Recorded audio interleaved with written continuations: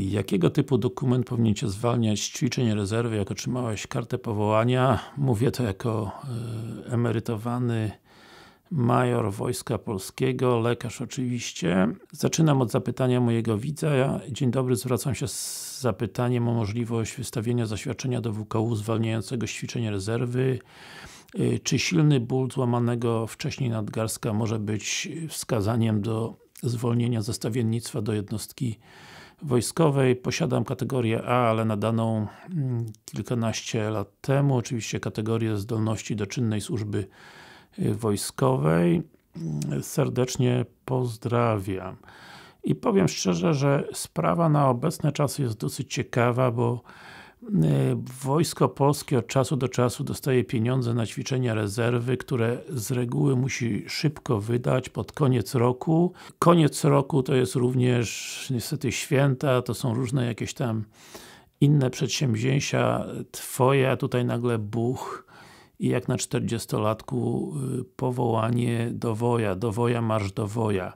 I mm, najrozsądniejszym wyjściem jest złożenie wniosku o obniżenie kategorii zdolności do służby wojskowej poprzez skierowanie Cię na Wojskową y, Komisję Lekarską, w tej chwili to są chyba rejonowe Wojskowe Komisje Lekarskie, ale zanim dostaniesz kartę powołania, czyli lepiej studnie kopać, zanim pożar jakiś Y, wybuchnie, ale jestem na 100% pewien, że na pewno o tym wcześniej nie pomyślałeś, bo nikt o tym wcześniej nie myśli, szczególnie jak wojsko zapomniało o Tobie na wiele lat. I pewnie taki jest Twój przypadek, ale no zawsze możesz zrobić to po ćwiczeniach, jeżeli Twój stan zdrowia od ostatniej komisji wojskowej, czy jakiejś poborowej się faktycznie Y, pogorszył. Natomiast y, wydaje mi się, że jak już coś takiego się stało, a jesteś naprawdę chory, to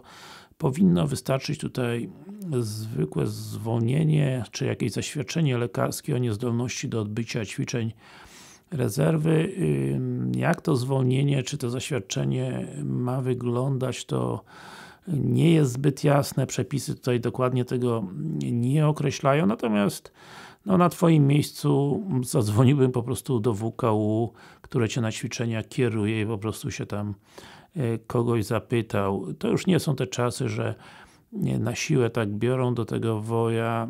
Są ludzie bardzo e, kooperatywni, rozumieją, że coś tam mogło Ci wypaść. Tak z ciekawostek, kiedy jeszcze takich ćwiczeń rezerwy zabezpieczałem dziesiątki, współpracowałem oczywiście z miejscowym WKU, no czasami starczało zwykłe zwolnienie lekarskie, tak zwane L4, natomiast no, jak się ktoś chciał czepić, to zawsze y, jak to mówią, jak się psa chce uderzyć, to się kij znalazł, prawda? Czyli pytanie, na kogo ma być to zwolnienie wystawione? Czy na Twój zakład pracy, y, czy na jednostkę wojskową, która Cię że tak powiem, chce wcielić, y, czy może na Ciebie osobiście, prawda?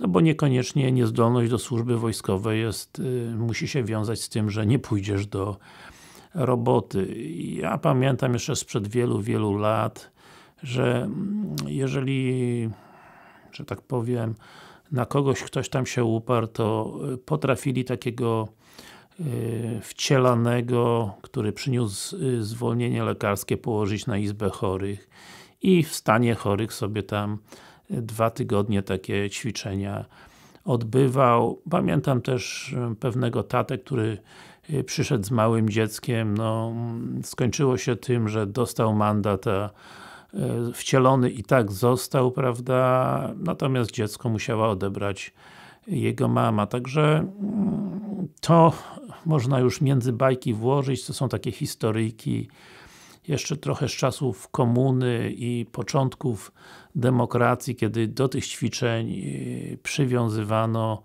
jakąś większą wagę, kiedy traktowano to zdecydowanie poważniej. Natomiast jeżeli Ty masz taki przypadek, że zostałeś wcielony do rezerwy, no uważasz, że to jest strata czasu, ale jednocześnie stan zdrowia Ci nie pozwala odbyć tych ćwiczeń i nie odbyłeś tych ćwiczeń z powodów zdrowotnych, napisz w komentarzu do tego wideo, jakiego typu zaświadczenie przedstawiłeś, czy przedstawiłeś to na etapie WKU, prawda, czy przedstawiłeś to dopiero już jak zgłosiłeś się do konkretnej jednostki y, wojskowej, prawda, i tam jakiemuś, y, że tak powiem, wojskowemu to y, pokazałeś, czy Cię na tej podstawie zwolnił.